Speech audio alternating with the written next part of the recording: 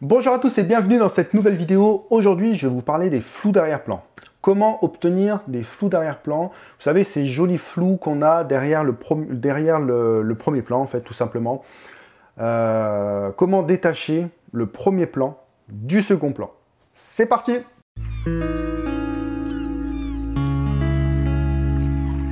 Alors, comment obtenir des flous d'arrière-plan Déjà, dans un premier temps, il faut savoir euh, qu'il y a la petite profondeur de champ et la grande profondeur de champ. Déjà, je vais vous expliquer qu'est-ce que la profondeur de champ. La profondeur de champ, c'est tout simplement la zone de netteté dans votre image. Alors, il y a la petite profondeur de champ, donc qui veut dire une petite zone de netteté, et la grande profondeur de champ qui indique une grande, euh, une grande zone de netteté.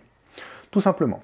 Alors, une fois qu'on sait ça, euh, la différence entre la petite profondeur de champ et la grande profondeur de champ, déjà on peut s'intéresser au matériel de la photo. Donc euh, déjà, pour avoir un flou d'arrière-plan, on va prendre en compte que vous ayez le matériel techniquement capable d'avoir des flous d'arrière-plan. Donc j'entends par, là des objectifs qui sont lumineux. Donc un objectif qui est lumineux, pour moi, c'est un objectif qui ouvre à grande ouverture, donc c'est-à-dire à f1.2, F1.4, F1.8, F2, F2.8. Pour moi, ce sont des objectifs qui vont jusqu'à F2.8, qui permettent d'accueillir beaucoup de lumière dans, l'objectif qui vient de toucher le capteur.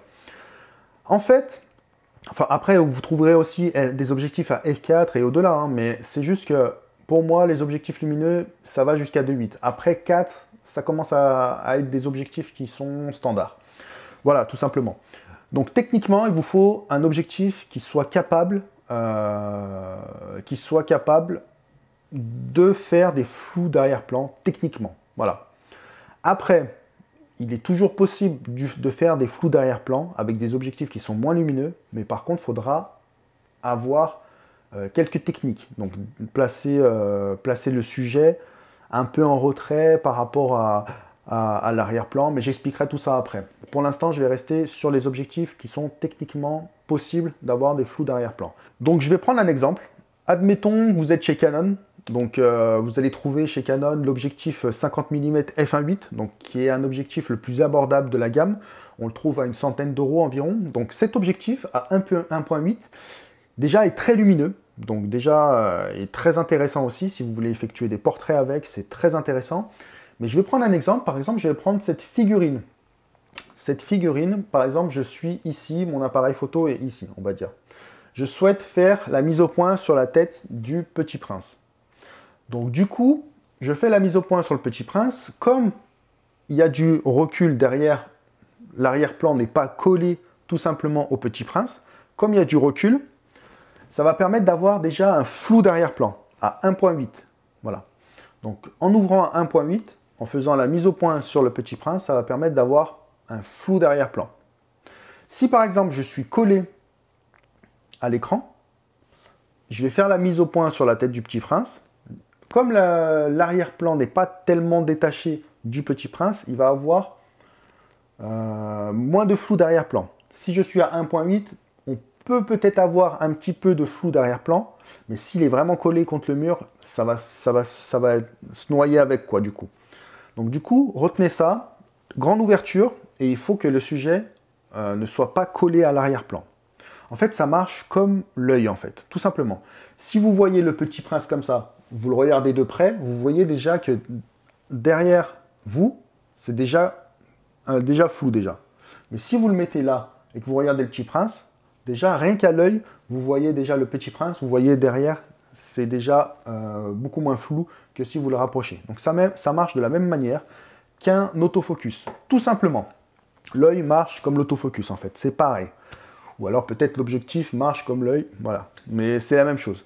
Donc du coup, si vous voyez quelque chose, euh, vous voulez faire une mise au point sur un sujet avec un arrière-plan flou, il faut que techniquement déjà avec votre œil vous puissiez voir, vous puissiez le faire en fait, tout simplement.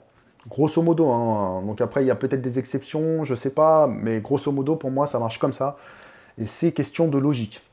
Je vous ai parlé du 50 mm euh, Canon, donc un 1.8, donc objectif très lumineux, très abordable. Il vous permettra d'avoir des flous d'arrière-plan déjà d'une grande qualité déjà. Donc voilà, après à côté de ça, les flous d'arrière-plan, techniquement, donc il y a l'objectif qu'on vient de parler, mais il y a aussi les capteurs photographiques. Donc généralement, on trouve euh, dans le commerce des capteurs plein format, des capteurs APS-C, des capteurs micro 4 tiers, des capteurs 1 pouce. Donc plus le capteur est petit, moins vous allez avoir de flou d'arrière-plan, tout simplement.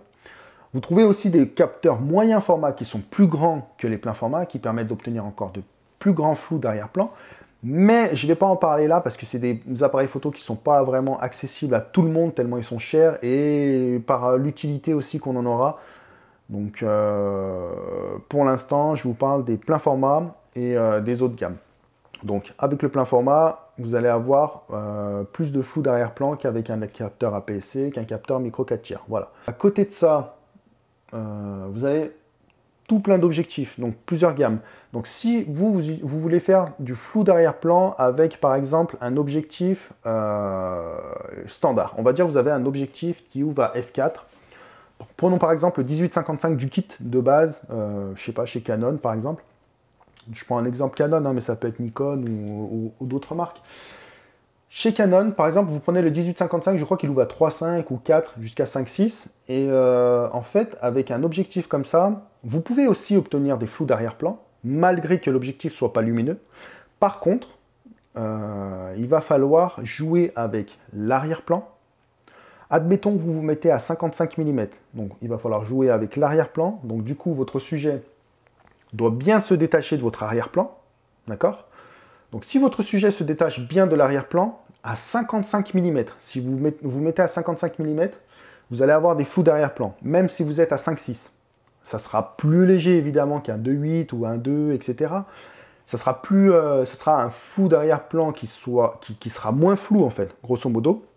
Mais vous pouvez déjà détacher votre sujet de son arrière-plan avec un objectif de base. Voilà. Il faut juste éloigner votre sujet de son arrière-plan. Zoomer aussi avec la compression donc, euh, de l'objectif. Donc, étant donné que vous zoomez, on va dire, à, 55 mm, bah, vous compressez l'arrière-plan aussi, également. Si vous vous mettez à 18 mm, vous allez avoir un plan large et euh, vous n'allez pas avoir du tout de flou d'arrière-plan. Mais si vous compressez votre... votre, euh, enfin, vous, vous zoomez à 55 mm, vous allez avoir ce flou d'arrière-plan parce que l'image compressera l'arrière-plan, en fait, grosso modo. Donc du coup, en zoomant, vous pouvez faire un portrait, par exemple, et euh, avoir ce flou d'arrière-plan, tout simplement avec un objectif de base. Voilà. Donc déjà, c'est vraiment, ici, c'est vraiment pour comprendre le principe, le principe du fonctionnement du flou d'arrière-plan, tout simplement. Voilà, je pense avoir tout dit. Donc euh, si la vidéo vous a plu, n'hésitez pas à lâcher un petit pouce bleu, donc ça aide la chaîne à progresser. À côté de ça, je vous invite à visiter le blog. Donc, euh, j'ai fait un article sur la profondeur de champ sur le blog. Je vous mets le lien dans la description. Donc, euh, vous verrez aussi un exemple détaillé dans, l'article sur le blog. Vous pouvez avoir des exemples d'images aussi également. Voilà, sinon, à côté de ça, bah, je vous invite à vous abonner sur la chaîne YouTube. Si vous voulez recevoir des notifications, bah, cliquez la cloche. Et puis, bah, sinon, je vous dis à bientôt.